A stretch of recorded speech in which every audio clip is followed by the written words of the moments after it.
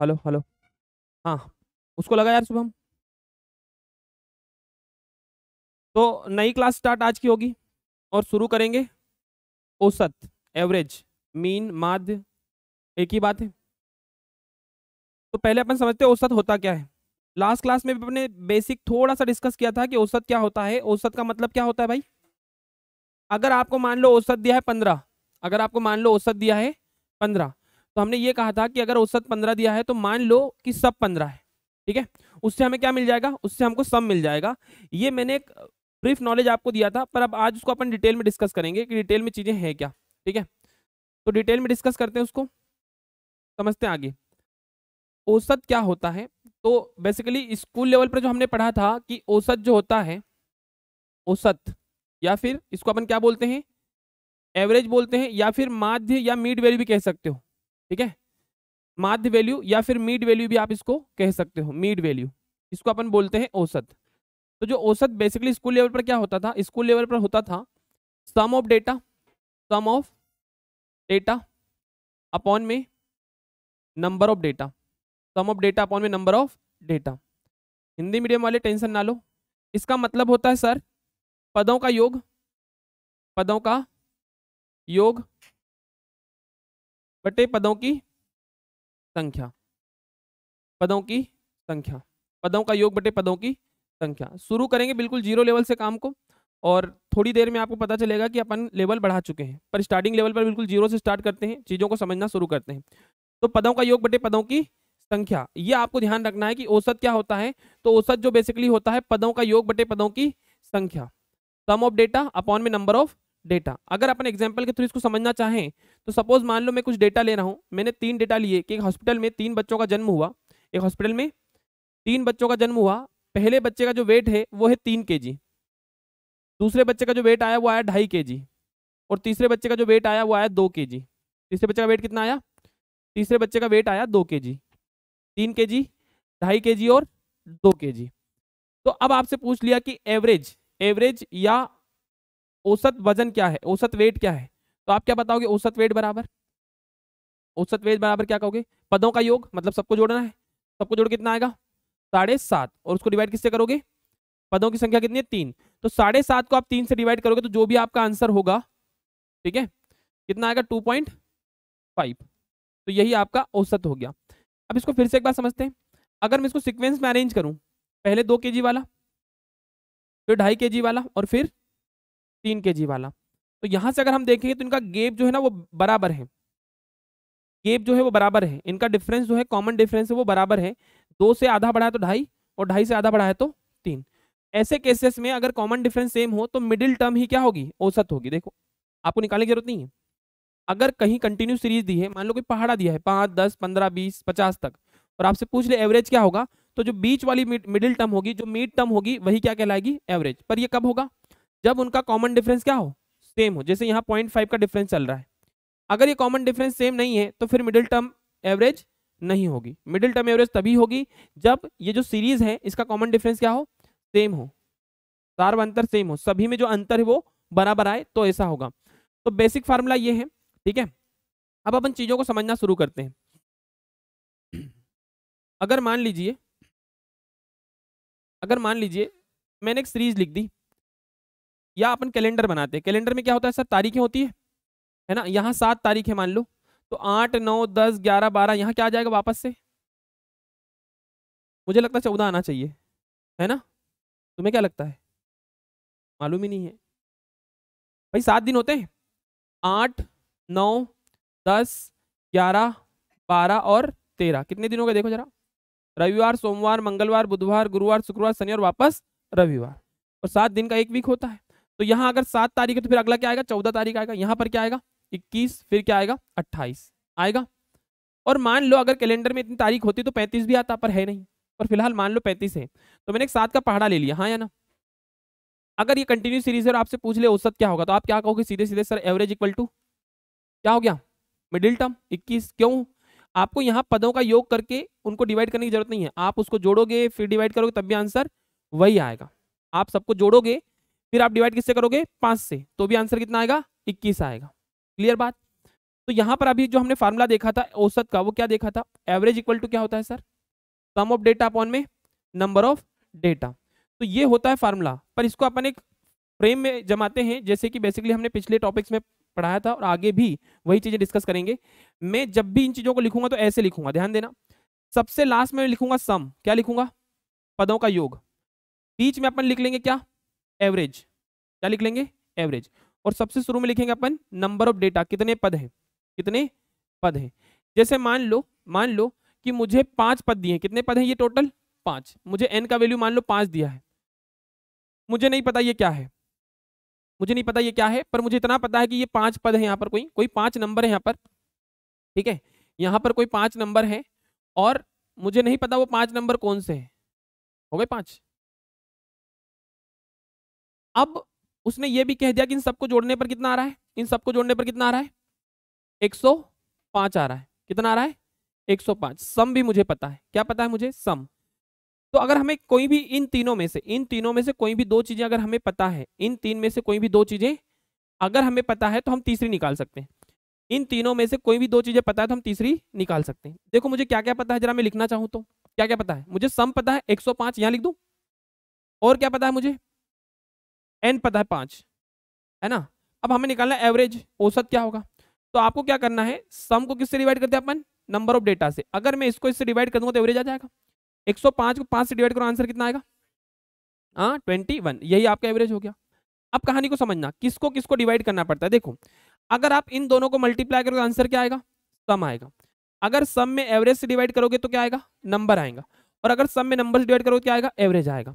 अगर आपको एवरेज निकालना है तो सम को किससे डिवाइड करेंगे? नंबर से। सम को नंबर से डिवाइड करेंगे तो एवरेज आएगा। सम को एवरेज से डिवाइड करेंगे तो क्या आएगा? नंबर आएगा। देखो, ये एन इधर गया ए उधर चला गया। हाँ या ना? और अगर आपको सम ही निकालना हो तो फिर आपको डिवाइड नहीं करना है, फिर आपको मल्टीप्लाई करना ए और एन का। पल्ले पड़ गया। तो मैं इसको ऐसे यूज़ करने के बजाय यही कर लूँगा। मुझे पता चल गया कि सर इन दोनों का मल्टीप्लाई करने पर यह आता है, इसमें इसका डिवाइड करूँगा तो यह आएगा, और इससे डिवाइड कराऊँगा तो यह आएगा। इतनी बात क्लियर है सबको? किसी को डाउट यहाँ तक? चलो, आगे बढ़ते भाई। तो बेसिक फार्मूला हम कभी यूज़ करेंगे नहीं वैसे भी, जो शुरू में लिखा था, बस वो पता होना चाहिए। जैसे मान लो यहाँ पर क्या लिखा है? इक्यावन प्राकृत संख्याओं का औसत क्या होगा? कितनी? इक्यावन। इक्यावन प्राकृत संख्याओं का औसत क्या होगा? तो बहुत सारे बच्चे ऑलरेडी चीज़ें पढ़े हुए हैं तो वो आंसर बता देंगे, ठीक है? तो जरा कोशिश करो यार इसको बताने की, कितना आना चाहिए? इक्यावन प्राकृत संख्या, प्राकृत क्या होती है? पहले तो ये बताओ। ऐसी संख्या है जिनको हम गिनने के लिए यूज़ करते हैं काउंटिंग नंबर्स नेचुरल नंबर्स होते हैं। आप कभी रात में नेचर में बाहर निकलना, तारे दिखे तो उनको गिनना। क्या करोगे? ट्वेंटी सिक्स, ठीक है? तारे दिखे तो उनको कैसे गिनोगे? ज़ीरो से गिनोगे क्या? एक से गिनेंगे। तो ये जो गिनने वाली संख्या है, इन्हीं को हम क्या बोलते हैं? प्राकृत संख्या है। अगर मैं आपको भी काउंट करूँ तो क्या कहूँगा? एक, दो, तीन, चार, पाँच छ अगर डबल आ गया तो दो दिन जोड़ लूँगा उसको, एक ही जोड़ूँगा और सिंगल आ गया तो?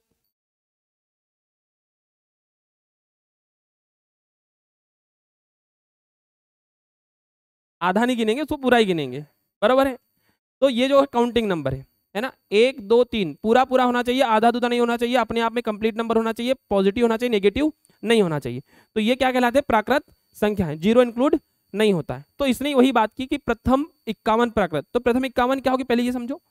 एक होगा पहला, फिर दो होगा, फिर तीन होगा, ऐसे ही कहाँ तक चलेंगे सर हम? इक्यावन तक। हमसे पूछा इसका औसत।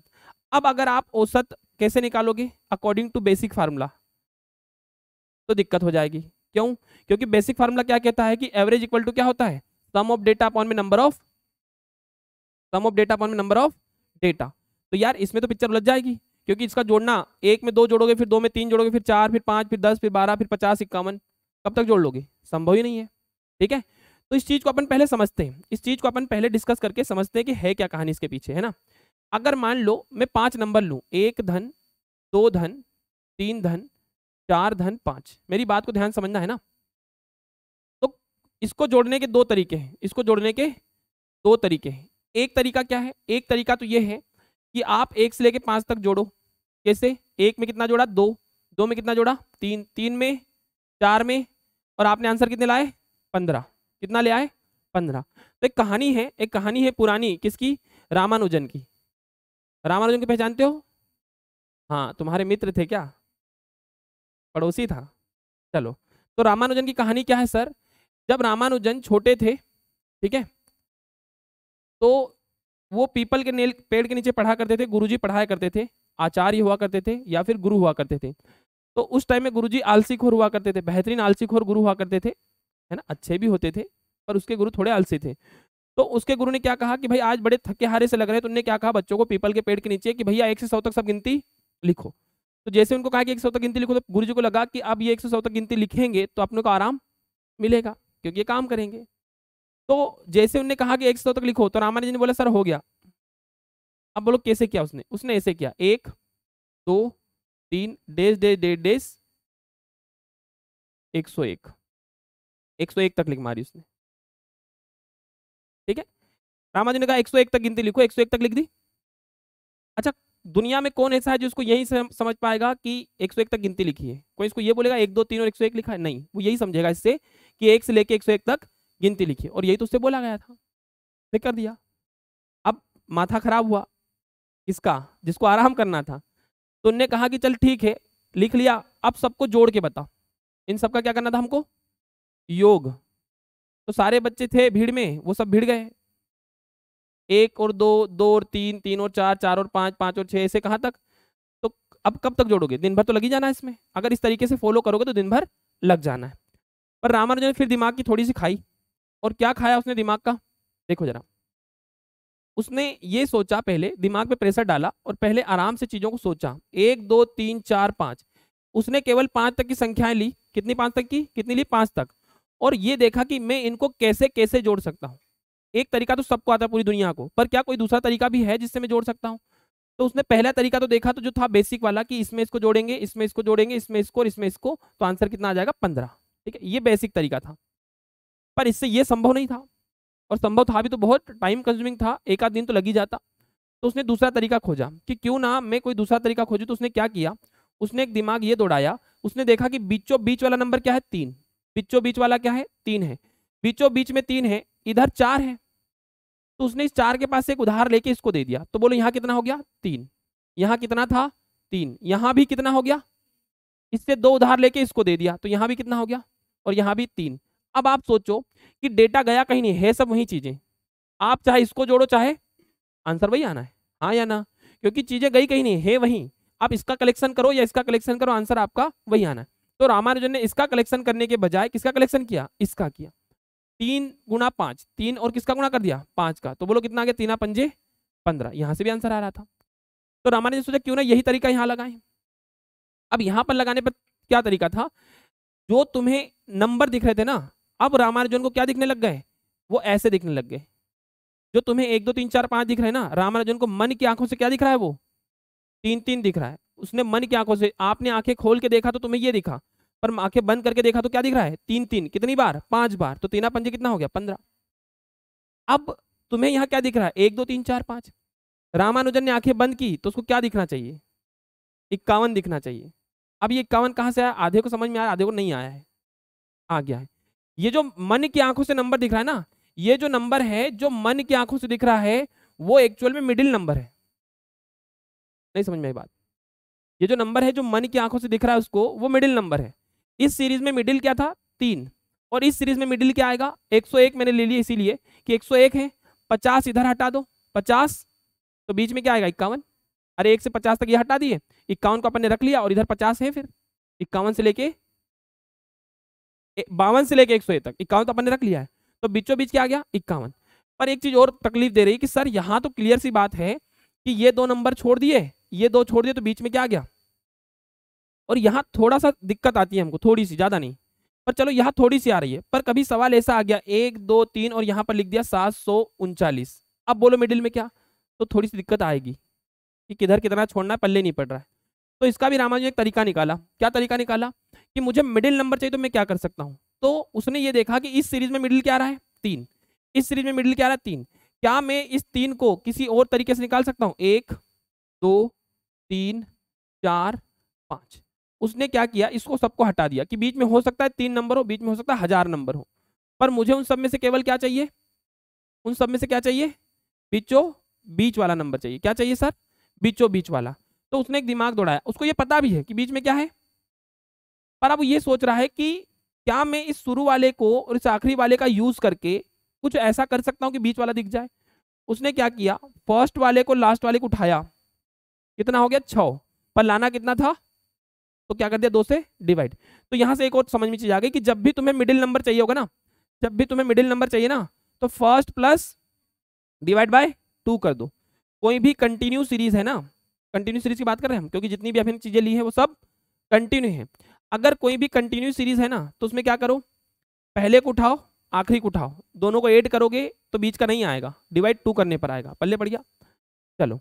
तो अब आप सोचो कि अगर मुझे यहाँ पर मिडिल टर्म निकालनी है, योग निकालना है। क्या बोला रामाजन से योग निकालना है। इन सबको जोड़ के बताना है। तो रामाजन ने दिमाग की खाई बोला सम इक्वल टू बोलो सम इक्वल टू अच्छा थोड़ी देर पहले मैंने एक चीज़ डिस्कस की थी कि एवरेज क्या होता है? सर मिडिल टर्म ही क्या होती है? मिडिल टर्म ही एवरेज होती है। और कल की क्लास में मैंने ये कहा था कि अगर आपको एवरेज पता चल जाए तो मान लो सब वही है। हाँ या ना? तो यहाँ पर वही कहानी है। हम एक काम करते हैं। इसमें सबसे पहले क्या पता करते हैं? मिडिल टर्म मतलब एवरेज औसत तो मिडिल टर्म कैसे निकालते हैं सर मिडिल टर्म निकालने का तरीका हमने क्या देखा? फ़र्स्ट प्लस लास्ट कितना हो गया? 102 और 102 का आधा करोगे तो इक्यावन।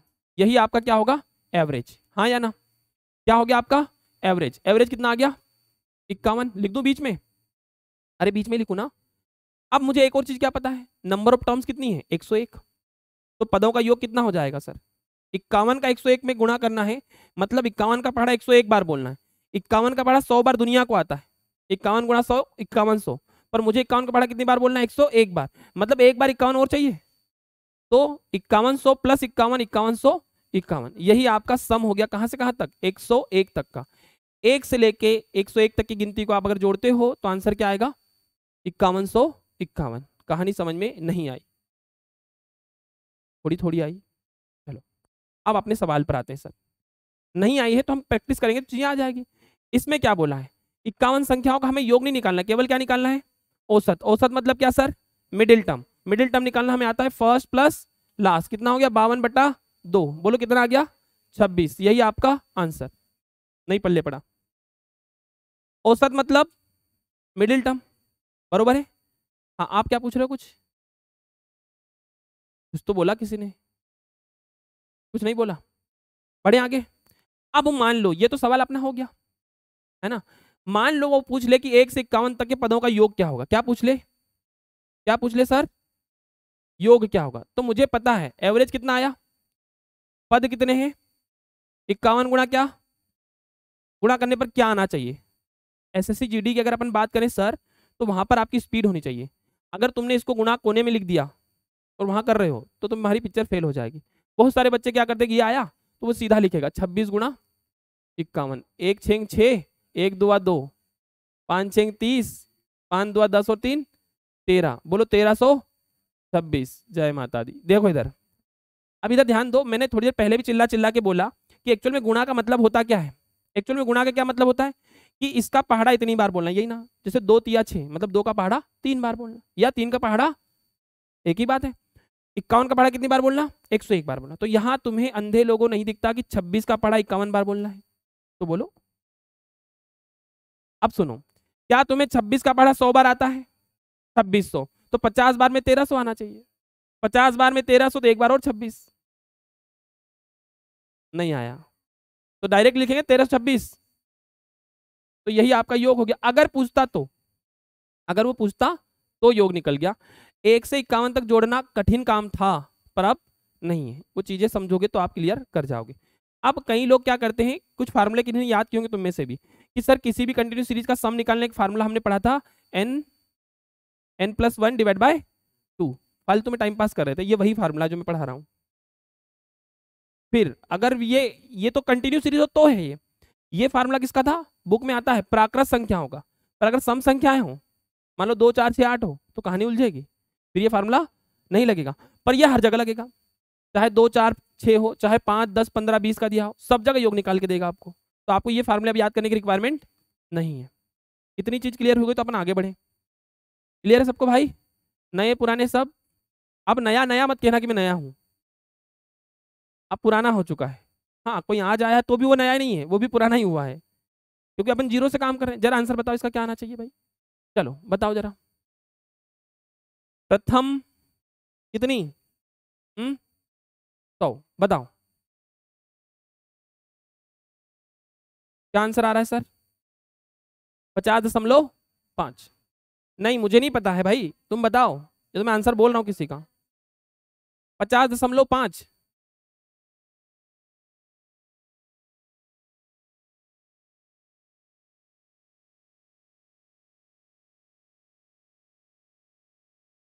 हम्म। इसका किसका आया भाई? साढ़े पचास। वेरी गुड सही है कि गलत है? सही है। तो अपन डिस्कस करते हैं आगे। क्या लिखा है? प्रथम सौ प्राकृत संख्याओं का औसत ही पूछा है। औसत का मतलब क्या, सर? मिडिल टर्म हमें क्या निकालना है? एक से सौ तक का मिडिल टर्म निकालना है। एक से लेके कहाँ तक की गिनती हमारे पास? सौ तक की।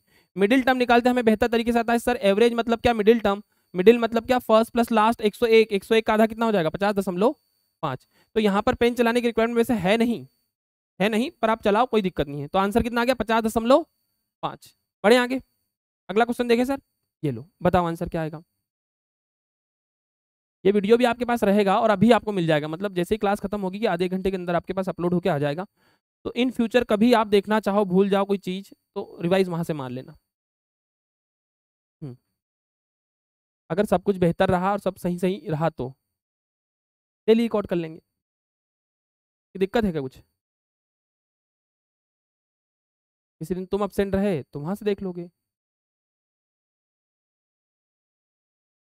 क्या आंसर आ रहा भाई, बताओ जरा। हम्म? एक सौ छत्तीस। कौन है भाई? क्लास में बैठना है?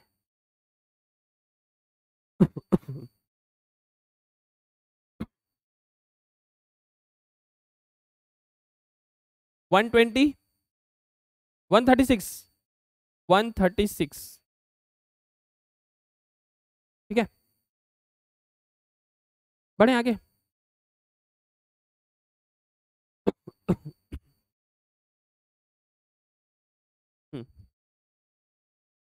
क्वेश्चन लिखा हुआ दिख रहा है सबको ना? छोटा तो नहीं दिख रहा ज़्यादा। बोला है, सर। क्या बोला है?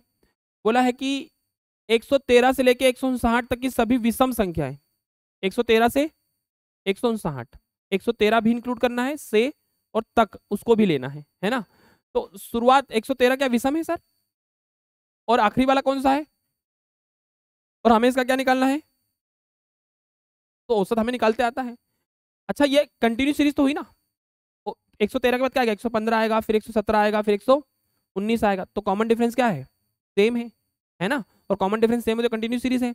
और जब भी कंटिन्यू सीरीज़ हो तो औसत क्या होता है? मिडिल टर्म ही होती है। मिडिल टर्म औसत तभी होगा जब सीरीज़ कंटिन्यू हो। अगर डेटा इधर उधर है, जैसे मान लो मैंने एक दिन दो सौ रुपए कमाए, एक दिन पाँच सौ रुपए कमाए, एक दिन सौ रुपए कमाए, एक दिन दो सौ रुपए फिर कमाए तो इस केस में मिडिल टर्म को मत बोलना, है ना? अगर इस केस में आपने बोल दिया कि ये औसत है तो ये गलत तरीका है, सर। इस केस में आपको सबको जोड़ के डिवाइड बाय फाइव करना ही पड़ेगा, ठीक है? पर ऐसे केसेस में आपके पास बहुत ज़्यादा नंबर वो कभी नहीं देगा। पाँच सात आठ नंबर देगा जिनको आपको जोड़ के divide by number of data करना है। अदरवाइज़ अगर आपके पास बहुत ज़्यादा डेटा है तो फिर कहीं ना कहीं वो कंटिन्यू सीरीज़ काम करी होगी। फिर कंटिन्यू वो प्राकृत भी हो सकती है कम संख्याएँ भी हो सकती है, या कोई पहाड़ा भी हो सकता है। सात, चौदह, इक्कीस, चलेगा। तो अभी कंटिन्यू सीरीज़ है कि नहीं है? अरे, है ना? सम संख्या है तो विषम है तो। तो एवरेज क्या हो जाएगा? Middle term equal to first plus last सौ, दो सौ दो सौ साठ, सत्तर, बहत्तर। पक्का? दो सौ बहत्तर बटे दो तो एक सौ छत्तीस। दो सौ का आधा सौ, बहत्तर का आधा छत्तीस, एक सौ छत्तीस। मैंने भी तो विषम ली है। हाँ तो एवरेज, चलो। समझो इसको। समझना भैया, है ना? जैसे मान लो मैंने विषम संख्या ली। कितनी विषम, कौन सी लू? एक तीन ले लू? एक, तीन, पाँच सात और नौ। अब मेरी बात सुनना। अगर मैं इसका औसत निकालूँगा तो एवरेज क्या आएगा? पाँच। है ना? तो संख्याएँ विषम थी एवरेज भी क्या आया? विषम। सर का कहना है कि सर, संख्याएँ तो विषम है एवरेज सम क्यों आया? यही कहना चाहते हो? ठीक है? सम मतलब इवन ठीक है? अब एक बात बताना। अगर मैं पाँच संख्याओं की जगह ध्यान देना, सात, नौ और ग्यारह भी ले लूँ, अब एवरेज क्या आएगा, सर? तो तुम ढूँढने लगे कि मिडिल टर्म क्या होगी। सर, तीन इधर छोड़ दिए और तीन मिडिल में कुछ है ही नहीं। तो आना चाहिए छः अब तो। सात और पाँच के बीच में क्या आएगा? छः तो इस केस में ऑड भी आ सकता है इवन भी आ सकता है। वो डिपेंड करता है नंबर ऑफ़ टर्म्स कितनी है। अगर बीच में इसी में से बच रहा होता तो तो ऑड आता मतलब विषम आता। पर अब ये जो नंबर ऑफ़ डेटा है, वो सम डेटा है। तो बीच में कुछ बच ही नहीं रहा। आपने आधे इधर हटा दिए आधे, और बाकी पीछे है ही नहीं। बात समझ में आ रही है? तो उस केस में आपका आंसर ये भी आएगा। एवरेज मतलब क्या? कि सर ये भी छः है, ये भी छः है, ये भी छः है, ये भी छः है, ये भी छः और ये भी कितनी बार छः छः है? तो टोटल सम कितना आएगा? अगर आप इनको भी जोड़ोगे तो भी छत्तीस ही आएगा। अगर आप इनको जोड़ोगे तो भी छत्तीस ही आएगा, पर रामानुजन का तरीका ये है जोड़ने का। कुछ बात समझ में आई? पर अभी हमसे योग पूछा नहीं है, वो तो मैंने बता दिया आपको। अभी हमारा टॉपिक क्या चल रहा है? औसत चल रहा है।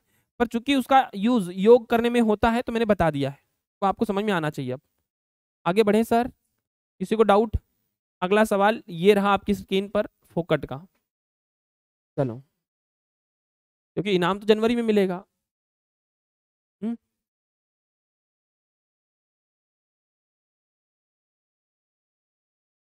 अरे यार राहुल। ग्यारह सौ रुपये हैं। अब भी नगद। हैं? किसी के पास है क्या पाँच पाँच सौ? किसके पास है? अभी दे देंगे रे वापस, तेरे से लेके हम खाते हुए जाएँगे। हाँ तो दे। अब भी कब चाहिए देखो वापस? क्लास के बाद दे देंगे। तब तक दूसरा कोई इकट्ठा करो रे। ला भैया उससे पैसे ले और राहुल, वो क्या नाम है उसका? शक्ति को बुलाना। चलो, अपन शुरू करें। ठीक है? तो प्रथम सौ तक की सभी सम संख्याओं को प्रथम सौ तक की ध्यान देना भाई इसने, सौ तक बोला है। सौ संख्या नहीं बोला है। क्या बोला है? सौ तक, उससे आगे मत जाना। तो प्रथम सौ तक की सम संख्या लेनी तो पहली क्या जाएगी? दो। ऐसे आखिरी क्या जाएगी? तक बोला है? ये लो, खुश। तक बोला है सर उसने। तो प्रथम सौ, पहली एक होती है, एक सम नहीं होती, विषम होती है। तो हमने कहा शुरू करी कहानी? दो से। और आखिरी का क्या गया? सौ आ गया। इनका क्या पूछा हमसे? औसत। तुम्हें पता है। क्या जाएगा? इक्यावन। संख्याएँ सम है, पर औसत विषम आ रहा है, ठीक है? तो औसत क्या हो जाएगा? एवरेज इक्वल टू क्या हो जाएगा सर फ़र्स्ट प्लस लास्ट 102 बटे में क्या? दो। इक्यावन। औसत निकालने का तरीका क्या होता है? First data plus last data दोनों को एड करने पर सम सॉरी एवरेज नहीं आता। क्या करने पर आता है? डिवाइड बाय टू करने पर आता है। तो कितना आ गया? इक्यावन। किसी को डाउट यहाँ तक? आगे बढ़े। अगला सवाल ये रहा। बताओ भाई। प्रथम सौ सम संख्याओं का औसत क्या होगा? बोले, सर सेम सवाल है। नहीं भैया सेम नहीं है। वहाँ पर बोला था, सौ तक।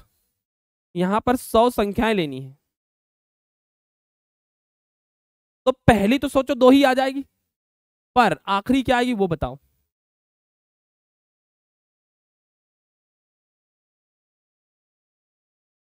दो सौ ही आएगी आखिरी? सौ संख्या लेनी है, दो दो का पहाड़ा चल रहा है, दो धाम दस होता है, दस संख्याओं में बीस आता है। दस संख्याओं में तो सौ में दो सौ आना चाहिए। नहीं समझ में आया, सर। तो क्या लिख दू आखिरी का? दो सौ। आखिरी का लिख दिया, सर, हमने दो सौ। एवरेज क्या होगा? First plus last divide by two, एक सौ दो दो सौ दो, एक सौ एक। यही आपका क्या हो गया? एवरेज। तब सवाल नहीं है, सरल है। अगर आप समझ के करोगे तो सरल है। अगर आप टाइम लोगे तो कठिन है। आ गया क्या? कहाँ रे? पैसे तो दे भाई। दूँगा क्या मैं उसको? तेरे हाथ में हिम्मत नहीं हो रही पैसे छोड़ने की तेरे से। अरे एक सौ का दे दे तू। पर क्या तुम गरीब लोग हो रहे सबके सब? ये देखो, पचास, दस, बीस। अभी मान लो कभी छठी सातवीं से माँगता ना तो वो इससे ज़्यादा इकट्ठे करके ले आते। ला सौ रुपए दे भाई। एक काम कर, दो सौ दे। और चाहिए? अरे यार, तू अमीर आदमी निकला यार।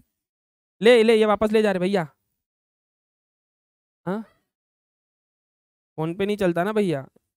शक्ति सर, आपका बहुत बहुत आभार, आपने पार्टिसिपेट किया और आपके पार्टिसिपेट से इनको समझ में आएगी कहानी कि पढ़ना कितना है। तो आप आएँ और आपका इनाम राशि लें। एक महीने की लाइब्रेरी की फ़ीस फ्री रहेगी सर की, है ना? ये लो भैया। ये नगद पुरस्कार 1100 और जनवरी में फिर टेस्ट होगा सर। जनवरी में एक टेस्ट फिर होगा। और आप लोगों को उसमें पार्टिसिपेट करना है। इस बार अरे टेस्ट होगा, इनाम मिलेगा, पढ़ोगे तो पैसा मिलेगा, अभी भी मिलेगा और बाद में भी मिलेगा। फ़ायदे फ़ायदे हैं। धन्यवाद सर आपका। और हमसे कोई हेल्प चाहिए तो आप बिल्कुल बताना, अपन करेंगे भैया। ठीक है? ये अपने पास चल रहा है दादा। स्क्रीनशॉट लेना।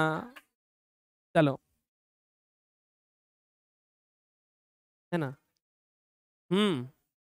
पटवारी का दिया और पचास में से बयालीस नंबर लेके आए वो। और शायद मैंने पीडीएफ ग्रुप में डाला भी है। तो एक ये चीज़ भी मैंने एनालिसिस की है कि आप लोग क्या करते हो? टेस्ट देने में डरते हो। और डरता कौन है? जिसको ये डर है कि मैं आखिरी आऊँगा और पीडीएफ में मेरा नाम आखिरी में आप सब क्या सोचेंगे?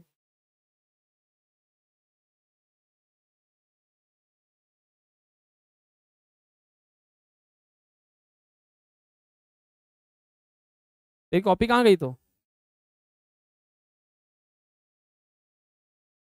चल ठीक है ट्वेंटी थ्री नंबर भाले करके हैं सर बाय डिफ़ॉल्ट ऐसा हो गया होगा, ध्यान नहीं दिया होगा।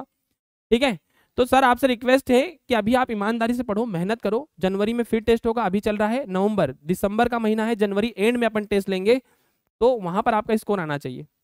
और उस केस में टॉपर का इनाम नहीं होगा केवल, उस केस में अपन इनाम देंगे दो तीन लोगों को मतलब फ़र्स्ट सेकेंड और थर्ड को भी देंगे। तो ऐसा नहीं है कि सर मैं तो टॉपर आऊँगा ही नहीं।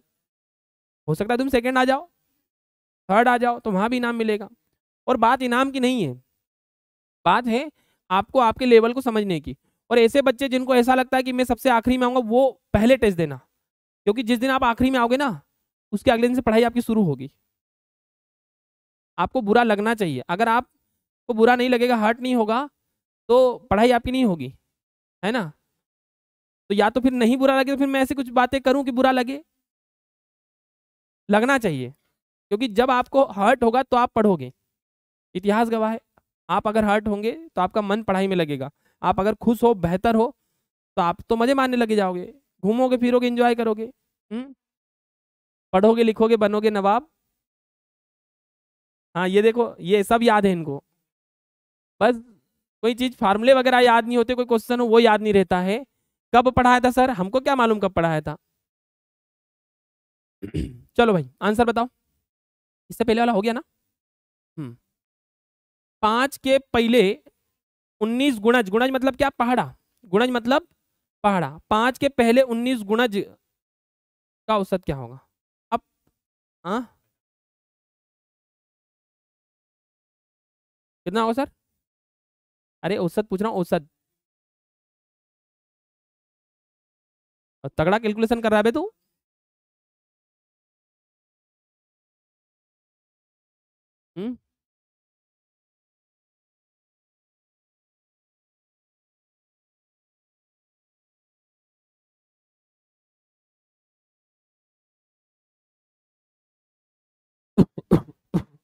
कितना आया भाई?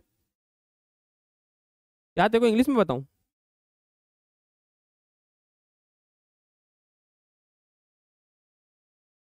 पाँच के पहले उन्नीस पहाड़े। तो पहला पहाड़ है पाँच एक कम पाँच। ऐसा उन्नीस पंजे पंचानवे आएगा आखिरी में। बोलो हाँ या ना। और इसका एवरेज क्या सौ का आधा कितना हो गया? पचास। चालीस क्यों बोल रहे हो भाई? एवरेज कितना हो गया? पचास। ठीक है?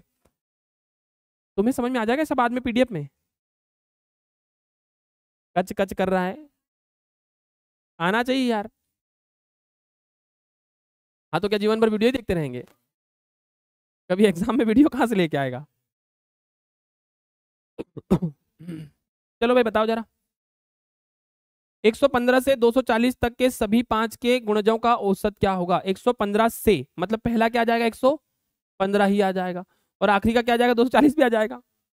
औसत ही पूछा है हमसे, क्या होगा? फ़र्स्ट प्लस लास्ट 200 300 365 365 का आधा बोलो कितना? 300 का आधा डेढ़ सौ। डेढ़ सौ तीस, एक सौ अस्सी, एक सौ बयासी दशमलव।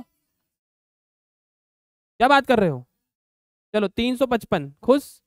आधा करोगे तो तीन सौ का आधा डेढ़ सौ। पचास का आधा पच्चीस। एक सौ पचहत्तर, एक सौ सत्तर दशमलव पाँच। One seventy seven point five.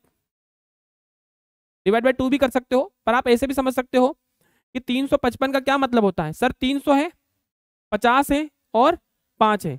300 का आधा, डेढ़ सौ प्लस ढाई। अरे हाँ या ना? मैंने कुछ गलत कर दिया क्या? अरे पचास है सर, ये पच्चीस और ये ढाई। एक सौ पचहत्तर और ढाई, एक सौ सत्तर दशमलव पाँच। वो आप दिमाग में कैलकुलेट कर सकते हो चीज़ें, जल्दी आंसर आएगा। बरोबर है यहाँ तक? किसी को डाउट आगे बढ़े भाई। खत्म हो गया ये? नेक्स्ट क्वेश्चन ये रहा। बताओ आंसर सभी संख्याओं का औसत क्या है, जो तेरह से विभाज्य है?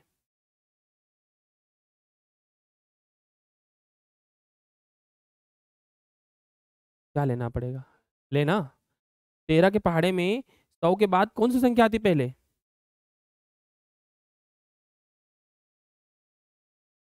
एक सौ चार। तेरी अठी एक सौ चार। तो सौ के बाद, सौ से लेके दो सौ के बीच में तो सौ के बाद सबसे पहले कौन सी आती है? एक सौ चार। ये तेरह का पहाड़ा है, सर। तो हमें उधर की तो चाहिए ही नहीं। सौ के बाद वाली चाहिए। और आखिरी में क्या आएगा? आखिरी में क्या आएगा?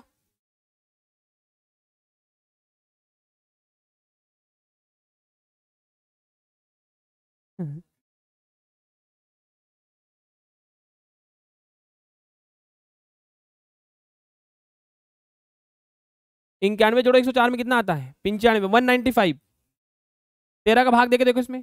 तेरह कम तेरह बची छः तेरह पंजे आ रहा है। अब मुझे ये बताओ कि मैंने तो लिख दिया, क्या तुम ये कर पाओगे?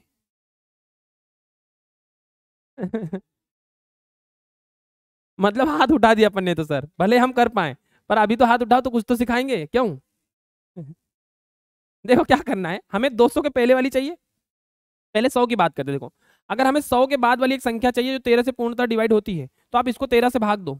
दे तेरह से भाग। तो बोलो, तेरह साथी कितना हो गया सर? इक्यानवे। माइनस करें इसको। कितना बचा? नौ। अब सोचो, ये सौ जो है, ये तेरह से पूरा पूरा भाग कब हो सकता है जब ये नौ नहीं रहे? भाग जाने का मतलब क्या? सेसफल ज़ीरो आना चाहिए। तो इसका मतलब सर मेरे पास दो तरीके। या तो मैं सौ में से ये नौ गायब कर दूँ, ये नौ माइनस कर दूँ ज़ीरो हो जाएगा। ये नौ यहाँ माइनस करो या यहाँ करो, एक ही बात है। ये नौ यहाँ माइनस करोगे तो भी ज़ीरो हो जाएगा। यहाँ माइनस करने का मतलब होता है नौ यहीं से गायब कर दो तो यहाँ बचेगा ही नहीं। अरे हाँ या ना? तो इसका मतलब कि नौ माइनस करूँगा तो इक्यानवे मिलेगा, जो कि तेरह से पूरा पूरा डिवाइड होता है। पर मुझे सौ से बड़ा चाहिए था, छोटा नहीं। अगर मैं घटाने पे काम करूँगा तो सौ से छोटा हो जाएगा। मुझे सौ से क्या चाहिए? बड़ा चाहिए। तो मैं घटाने पे काम नहीं करूँगा, मैं जोड़ने पे काम करूँगा। तो सोचो, अगर ये नौ है, मैं तेरह का भाग दे रहा हूँ, यहाँ क्या होना चाहिए? प्लस चार अगर हो जाए तो तेरह, और तेरह का भाग जाएगा, सेसफल ज़ीरो हो जाएगा। इसका मतलब संख्या कौन सी हो गई एक सौ चार। ये पहली संख्या आ गई। पर आखिरी की बात करें तो फिर से दो सौ को भाग दो किससे? तेरह से। तेरह का भाग दो, आता है कि नहीं आता पढ़ा तेरह एकम तेरह बचा कितना? सात, सत्तर। तेरह पंजे पैंसठ। बोलो कितना बचा? पाँच। अब मुझे आप बताओ, मैं माइनस करूँ कि प्लस करूँ? अगर प्लस करूँगा तो 200 से आगे निकल जाऊँगा, जबकि मुझे 200 के अंदर रहना है। तो मेरे पास ऑप्शन केवल क्या रहेगा माइनस करने का। तो इसमें से पाँच माइनस कर दो। तो 200 में से पाँच माइनस करोगे तो लास्ट वाला नंबर हो गया एक सौ पंचानवे। अभी किसी को डाउट हम्म हो गया? नहीं बोलेंगे। अब हमको मतलब तो ये हमारा काम निकल गया। चलो इधर देखो। 104 और एक सौ पंचानवे। पहली संख्या ये होगी जो तेरह से डिवाइड होती है और आखिरी की ये होगी सौ और दो सौ के बीच में। हमें चाहिए एवरेज तो first plus last divide by क्या कर दोगे? टू कितना आंसर आया सर दो सौ निन्यानवे हो गया? दो सौ निन्यानवे का आधा करोगे तो सौ और निन्यानवे का आधा पचास दशमलव फोर्टी नाइन पॉइंट फाइव। तो सौ और forty nine point one, forty nine point five. यही आपका आंसर। अरे ऐसे सोचो ऐसे भी सोचो, तुम्हारी मर्ज़ी। चलो, ये आंसर हो गया। किसी को डाउट है यहाँ तक? है तो सही सर, पर अब ठीक है। एक बार बता तो दिया आप नहीं पूछते, अगली बार देखेंगे। कुछ बच्चे से सोचने वाले होते हैं क्लास में। जिसको नहीं आ रहा है पर फिर भी नहीं पूछूँगा। उस पर झुकेगा नहीं। क्यों भाई?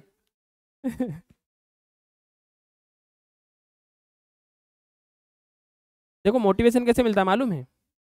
तकलीफ़ों से मिलता है। तो उन तकलीफ़ों के बारे में पहले सोचना पड़ता है। क्या तुमने कभी सोचा है? मैं बताऊँ? अब रहने दो यार। बुरा लग जाएगा तुमको। भाई, आप लोग अभी इसमें से कितने बच्चे हैं जो कमा रहे हैं? पैसा कमा रहे हैं और खुद का खर्चा निकाल रहे हैं। एक, दो, तीन, चार। चार एक बच्चे हैं जो कमा रहे हैं। मतलब खुद का खर्चा कम से कम निकाल रहे हैं। मतलब उनकी थाली में कोई और रोटी नहीं दे रहा है। खुद का खा रहे हैं, किसी का नहीं ला रहे है ना? अब मुझे आप बताओ कि बाकी बच्चे जो हैं माता पिता पैसा कमा के अपने खिला रहे वो गलत नहीं है, पर खा पी के अपन गोबर करें, वो गलत है। तो अब आप सोचो कि आप में से कितने बच्चे, जो दो रोटी आपको सुबह और शाम को मिल रही है, उस दो रोटी की मेहनत को ईमानदारी से काम में व्यतीत कर रहे हैं। मतलब पढ़ाई करने के लिए आपको भेजा तो आप ईमानदारी से कर रहे हो, पूरा टाइम व्यतीत पढ़ाई पे जा रहा है आपका। मतलब आपका जो मैक्सिमम टाइम वो पढ़ाई पे जा रहा है और आप इन फ्यूचर, जो उन्होंने दो खिलाई तो उसका चार रिटर्न कर पाओगे। इतनी पढ़ाई कौन कर रहा है?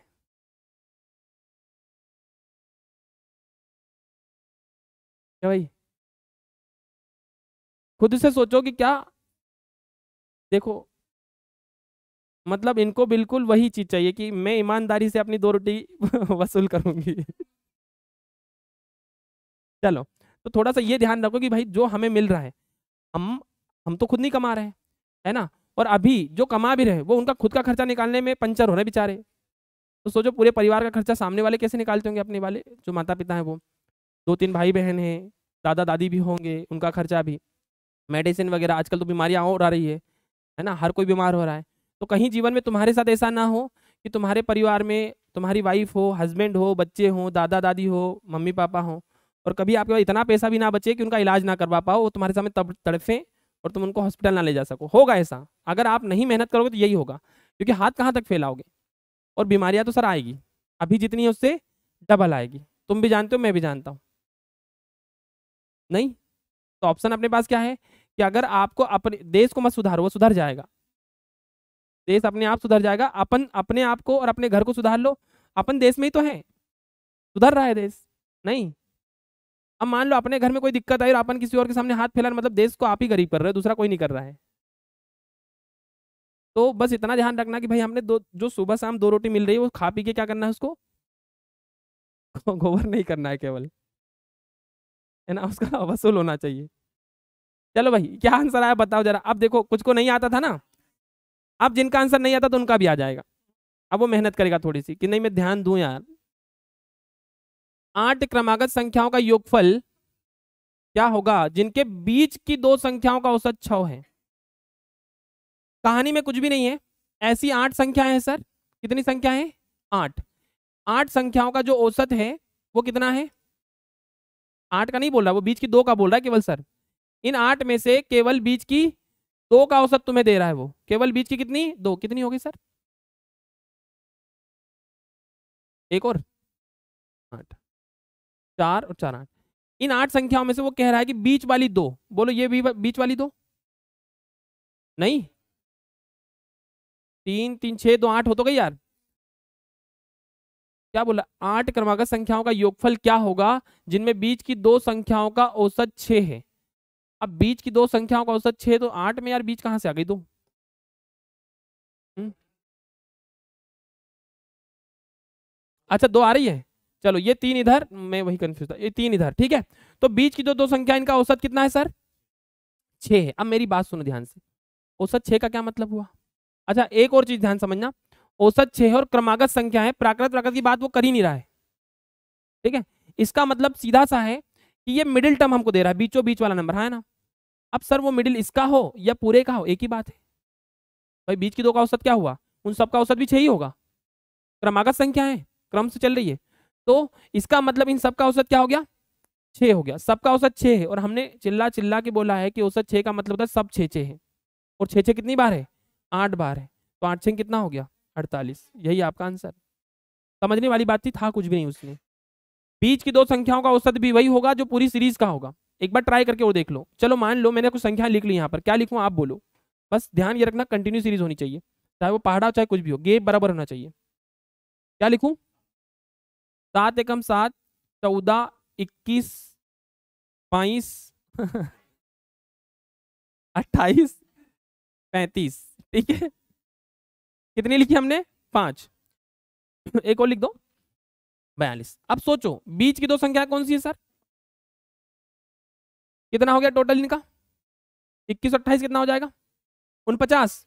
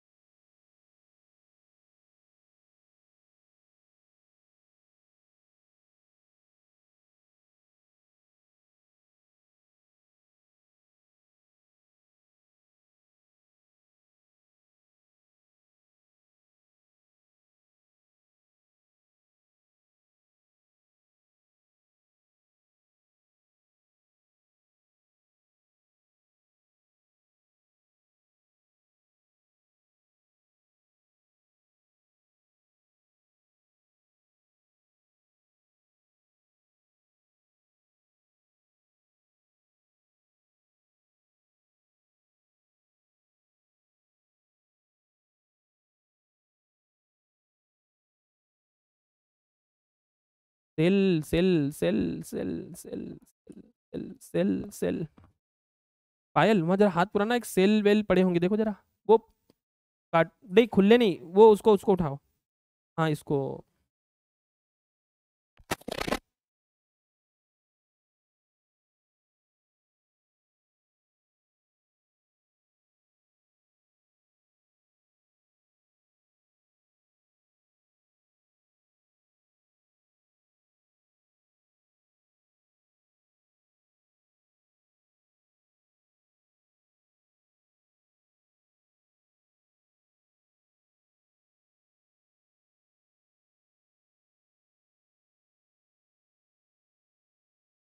आप देख तो आ रही है। हम्म। लो भाई ये किसका आंसर आया? सी है ना? अगर आपने ये कर भी लिया ना तो अगला नहीं कर पाओगे। अगर ये सवाल आपने कर भी लिया है तो जिसके बाद जो आएगा वो नहीं कर पाओगे। है ना? अच्छा सवाल है है ना? लास्ट सेकेंड लास्ट क्वेश्चन इसके बाद एक और करेंगे फिर आपको छोड़ देंगे कोई दिक्कत नहीं पाँच क्रमागत प्राकृतिक का मतलब होता है काउंटिंग नंबर है। काउंटिंग मतलब जिनमें गेप एक का होता है जिनको हम गिनने के लिए यूज़ करते हैं उसको हम बोलते हैं प्राकृतिक संख्या है एक दो तीन चार पाँच। तो ये पाँच इसमें तो नहीं गया? चलो तो पाँच क्रमागत प्राकृतिक संख्या है, अब कौन से हमको नहीं पता। पर कोई भी पाँच नंबर हैं, कोई भी पाँच नंबर हैं, कौन से हैं हमें नहीं पता, पर वो कितने हैं? पाँच हैं, तीन, चार और पाँच। कौन से पाँच है वो हमें पता नहीं है, कौन से पाँच है हमें पता नहीं है बट हो गए पाँच। हम्म। अब वो कह रहा है कि संख्याओं ए बी सी डी ई का औसत। देखिए यहाँ लिख दू मैं क्या? ए बी सी डी और ई e का औसत। औसत क्या है? आपसे पूछा है। उसने उत्तर भी दिए आपको। उसने उत्तर भी दिए तो कैसे निकालोगे औसत, सर? हमारे पास सारे तरीके सब लगा दो। क्या क्या तरीके हमारे पास? सर, अगर मैं एवरेज निकालना चाहूँ तो मेरे पास तरीका एक तो ये कि first plus last divide by two A plus E upon में टू क्या ये उत्तर में है? नहीं है। मतलब औसत ये वाला नहीं। एक और तरीका हमारे पास है। मैं चाहूँ तो सी प्लस डी भी कर सकता हूँ। अच्छा मुझे एक और तरीका कि मिडिल टर्म ही क्या होता है? औसत होता है। तो सी क्या है? एक तो आंसर आपका सी हो गया। सी तो औसत है सर क्योंकि मिडिल में आ रहा है। और चूँकि सीरीज़ कंटिन्यू है, क्रमागत है, प्राकृत है तो बीच वाला नंबर ही तो क्या सी होना चाहिए तुम्हारे हिसाब से? चलो, एक तो सी होना चाहिए। पर एक बात और है सर क्योंकि ये क्रमागत कौन संख्या? प्राकृत। प्राकृत मतलब गिनती है। मतलब अगर ये बीस होगा तो ये इक्कीस होगा ये तो सोचो अगर ये बीस है तो इसमें दो जोड़ने पर मैं यहाँ नहीं आ जाऊँगा। तो अगर ये ए है और ये क्रमागत संख्या मतलब एक प्लस होता है तो ये आती है, फिर एक प्लस होता है तो तो ए में दो जोड़ने पर भी तो यही आएगा। तो ये भी तो हुआ आंसर। भाई, पहली संख्या में दो जोड़ोगे तो तीसरे नंबर पहुँच जाओगे और चूँकि प्राकृत संख्या तो गेप कितने का है? एक एक का। इसमें एक बढ़ाओगे तो बी आएगा, इसमें एक बढ़ाओगे तो इसमें एक बढ़ाओगे तो यही हुई ना बात। तो सर औसत सी भी औसत ए प्लस टू भी है। ये भी आंसर है और A plus E divide by two मैंने लिखा नहीं, मैं लिख देता हूँ। वो मेरी गलती थी। ये भी औसत है कि नहीं है देखो जरा। First plus last divide by two क्या क्लियर है बात? मैं चाहता था एक और ऑप्शन डाल सकता था B plus D divide by two तो भी आंसर होता सही। ये भी बीच का ही लेता। इसको इसको जोड़ने पर, आधा करने पर बीच में आ जाते। तो ये भी आंसर हुआ। तो अभी हमारे पास तीनों के तीनों क्या है? सही है। मतलब अपना सही आंसर हो गया डी उपरोक्त सभी आंसर औसत ही है। पल्ले पड़ा। और यहाँ डिवाइड बाय क्या लगा लोगे? टू किसी को डाउट यहाँ तक? अब अगर चीज़ें समझ में आ गई है तो अगला सवाल आप करके बताओ, क्या आंसर आना चाहिए? बताओ भाई। ये लेवल का था, थोड़ा क्वेश्चन एग्ज़ाम्स में आया है पिछली बारों में। तो पटवारी में ही आया है, पुराने पेपर में 2013 या 17 में। तो आप देख लेना, पर अच्छा सवाल था। कई बच्चे क्या कहते पहला सी लगा के आ गए, क्योंकि उसका सी आ गया। कई बच्चे का दूसरा आ गया कि first plus last divide by two वो भी लगा के आ गया। और चौथे किसी ने लगाए नहीं, जबकि तीनों आंसर थे उसमें।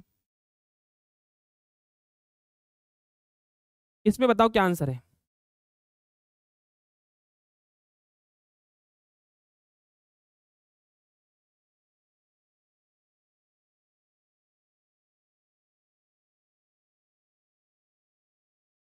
अरे यार, चारों नहीं है यार। क्या बात कर रहे हो? टाइपिंग मिस्टेक हुआ है क्या? मिस्टेक नहीं हुआ है, एक काम करना। इसमें इसमें यहाँ पर ये कर लेना A plus B plus C plus D plus E divide by five इस ऑप्शन में ये लिख लेना। अब आपको देखो आंसर मिल गया। ये भी तो एक तरीका है। औसत निकालते पदों का योग बटे पदों की पाँचों को जोड़ा, पाँचों से, पाँच से डिवाइड कर दिया तो कितना आ गया? औसत आ गया। हाँ पर यहाँ कोई और लॉजिक लग रहा है क्या? कौन सा? फोर्थ में ए प्लस फोर आ रहा है। ए प्लस फोर करने पर प्राकृतिक संख्या है। ए प्लस फोर करने पर क्या आएगा? ए बी सी डी ई है। ए प्लस फोर करने पर one two three four E आ जाएगा। क्या औसत है क्या ये? भाई ए प्लस फोर करने पर औसत आएगा क्या? सी आ रहा है क्या? वो तो ई आ रहा है और ये औसत नहीं है। तो ये तो नहीं है, सर। हाँ अगर ए प्लस टू होता तो मैं कहता कि ए प्लस टू करने पर सी आ जाएगा। ठीक है? तो अभी हमारा आंसर कौन सा हो गया? बी वाला, है ना, जो कि मैंने प्रिंट गलत किया हुआ है यहाँ प्लस प्लस आएगा। एक बार और चेक कर लो कहीं मिस्टेक तो नहीं है? नहीं है, सब सही है, ठीक है, बस वही होना था। अच्छा मान लो, अगर मैं ऐसे लिख दूँ A B C D E F है ना, और जी भी लिख दिया मैंने। अब बोलो, क्या इसके आंसर क्या क्या हो सकते हैं? औसत निकालना इस सीरीज़ के। पहला आंसर तो क्या हो गया? डी एक आंसर तो ये हो गया। और क्या हो सकता है? C plus E divide by two भी कर सकते हैं। तो C plus E divide by two ये भी औसत है। बी प्लस एफ़ अपॉन में टू भी कर सकते हैं। और ए प्लस जी अपॉन में टू भी कर सकते हैं। हाँ या ना? देखो, बहुत सारे आंसर है। तुम्हें चीज़ें अगर समझ आ गई ना तो तुम समझ जाओगे। ऑप्शन मैच करना है इसमें बस। अच्छा अगर मैं ए में औसत अपना ये ना। ए में कितना जोड़ू? One plus two plus three A plus three भी औसत है। अच्छा सी प्लस वन भी तो औसत है। बी प्लस टू भी तो औसत है। नहीं है। ई माइनस वन भी तो औसत है। कहानी क्लियर हो गई तुमको? ये ऐसे सवाल है जिससे तुम्हें कॉन्सेप्ट क्लियर होता है, बहुत अच्छे से। सवाल तो खुद है ही, पर अगर ये जिसने समझ लिया उसको सब क्लियर होता है कि हाँ औसत ऐसे ऐसे सब तरीके से निकल सकता है। अभी किसी को डाउट यहाँ तक? यहाँ तक क्लियर सबको? आगे पढ़ेंगे? कि अभी? कितने बच्चे अभी एग्री हैं कि अभी क्लास कंटिन्यू करें तो चलेंगे? बाकी लोग व्यस्त हैं। मतलब उनको नौकरी की ज़रूरत वैसे भी नहीं है देखो, है। चलो, पर थोड़ा सा यार कोशिश करो। आप जो भी काम कर रहे हो, एक साल की बात है। अपन दो रोटी खा रहे हैं तो चार रोटी दे पाए, ऐसा काम करो। वो आप सोचो कि क्या मुझे समय देना चाहिए, या फिर नहीं देना चाहिए। देना है तो हंड्रेड परसेंट दो, नहीं देना है तो मत दो। ठीक है? पर कोशिश करो अपनी तरफ़ से जितना एफर्ट लगा सकते हो, लगाओ। एक बार पूरा एफर्ट लगाओ, अगर नहीं हो तो फिर जीवन में एफर्ट लगाना ही मत। मन में यह मत रखना कभी भी जीवन में कि यार मैं करता तो हो जाता। ये मत रखना बस। या तो आपसे हो जाना चाहिए और नहीं हो तो फिर मन में ये कभी ना हो, मैंने की थी कोशिश, नहीं हुआ, बात खत्म हो गई। ठीक है, यहाँ तक? दफ़ा हो जाओ।